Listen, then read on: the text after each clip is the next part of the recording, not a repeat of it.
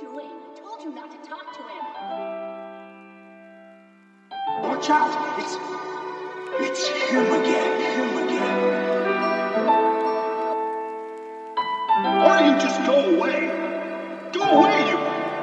You. Freak. Freak!